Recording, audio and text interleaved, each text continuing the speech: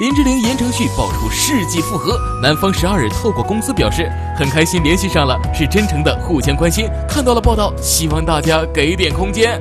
暧昧回应引发外界揣测，两人可能真的再度走到一块儿。林志玲十二日也透过工作室回应。谢谢大家的关心，希望能够多留一点空间给艺人保留隐私。如果复合，姐姐应该会选择大方和大家分享喜悦。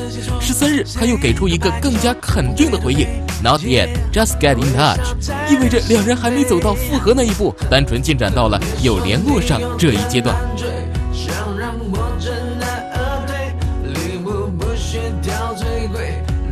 相信。